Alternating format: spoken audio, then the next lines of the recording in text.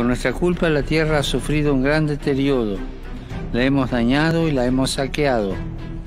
No la hemos sabido respetar ni cuidar.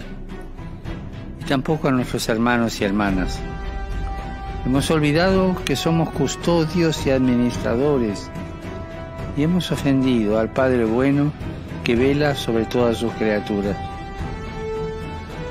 La presente pandemia nos está enseñando que solo si estamos unidos y haciéndonos cargo los unos de los otros, podremos superar los actuales desafíos globales y cumplir la voluntad de Dios que quiere que todos sus hijos vivan en comunión y prosperidad.